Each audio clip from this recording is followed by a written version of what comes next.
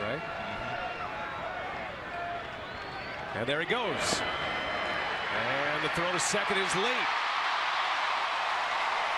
So Washington stays aggressive with his base runners. And you see why they do it. They're very successful at it. It gets this crowd on its feet, feet at a runner in scoring position. Well, you see the high leg kick. He delivers the ball really not in time for the catcher to be able to throw it down. You want it typically around three seconds or less in a perfect world.